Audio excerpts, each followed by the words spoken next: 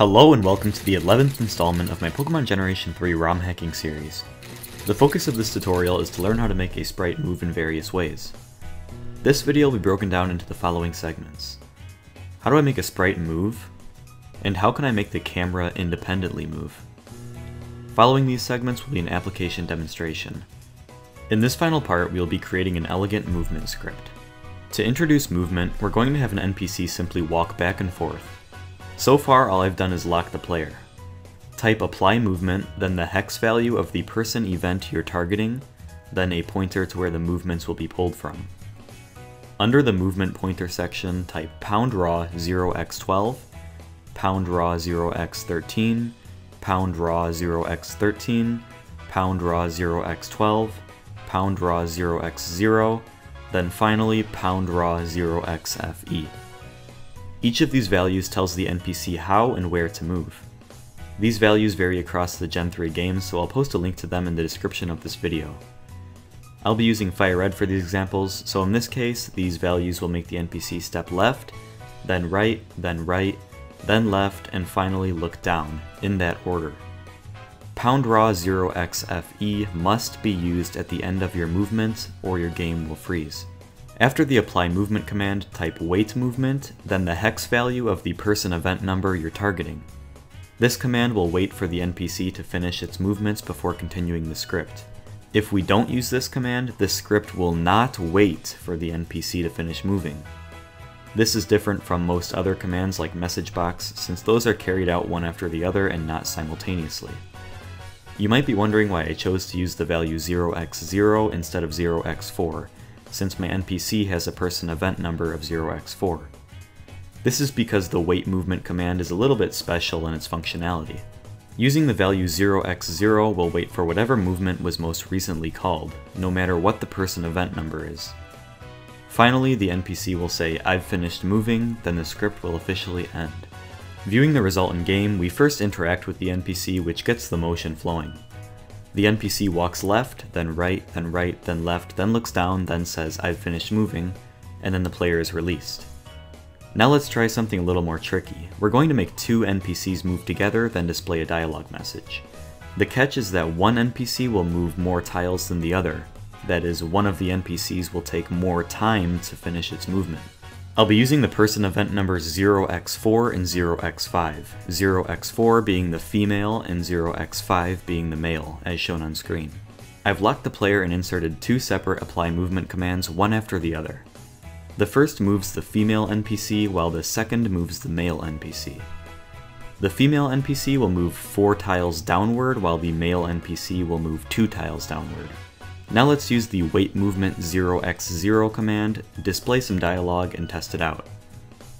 As soon as we interact with the fence, which is where I inserted my script, both NPCs begin moving.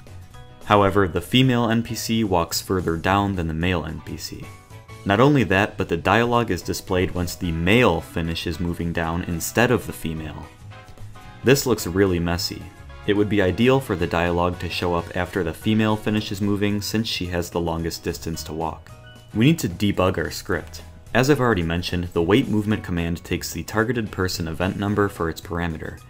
I've used the value 0x0, which will always wait for the most recently called apply movement command to finish executing. This command would be the second apply movement, which is the one that moves the male NPC a shorter distance. So, once the male is finished walking his two tiles, the dialogue shows up even though the female is still moving. To fix this, we can do one of two things. Our first option is that we can switch the two apply movement commands. This way, the wait movement command delays the dialogue until the female finishes moving, which is what we want. Our second option is to exchange the 0x0 value with the value 0x4, which is the female's person event number. Either way will work. Viewing the result, it looks like everything is working as intended. Both NPCs finish their movements in their entirety and then the dialogue is displayed. Next we're going to focus on camera movement. This comes with a lot of nuances, so we'll have to be cautious while writing the next script. All this script will do is move the camera up two tiles, pause for a moment, then move back to its original position. During the short pause, the player will move a couple of tiles and then return to his or her original position. So far I've only locked the player. Next, type special 0x113.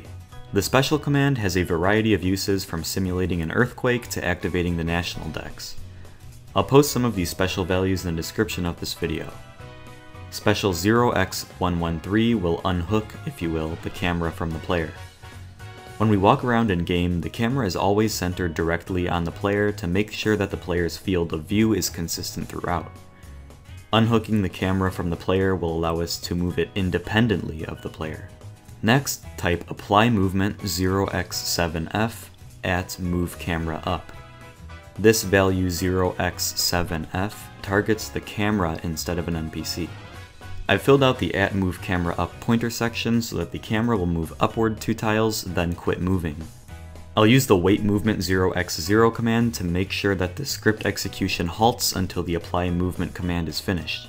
After that, type apply movement 0xff at move player. The value 0xff targets the player instead of an NPC. Don't forget the wait movement command.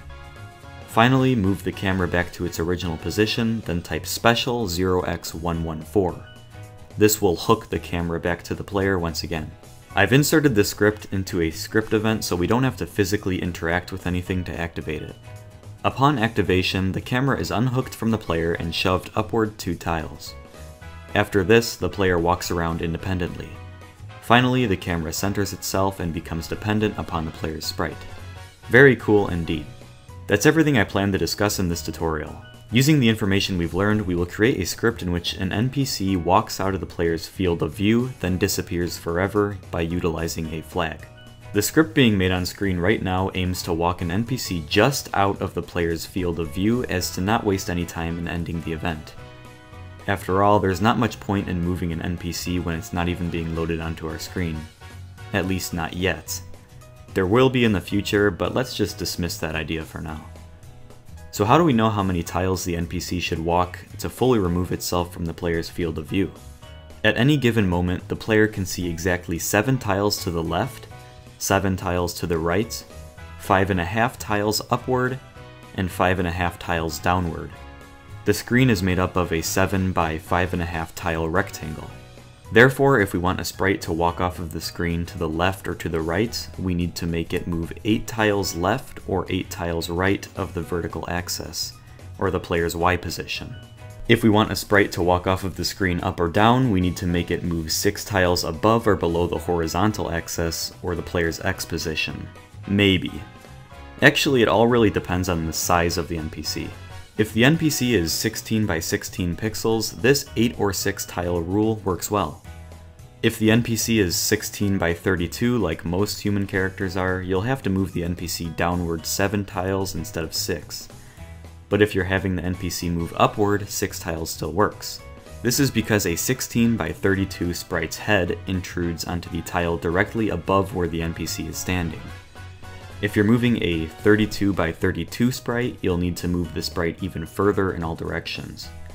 If you can think through it knowing that every tile is 16 by 16 pixels in size, it shouldn't be too difficult to figure out. If you can't think through it, go ahead and run a few quick tests to see what works and what doesn't. We're about at the end of creating this script. Everything that went into making this has been taught to you through this tutorial, Hopefully you all learned something valuable from this, and if you have any questions, please feel free to ask either over at PokeCommunity or right here in my video's comments section. Thank you so much for being my audience, and I'll be back in the 12th installment of this series.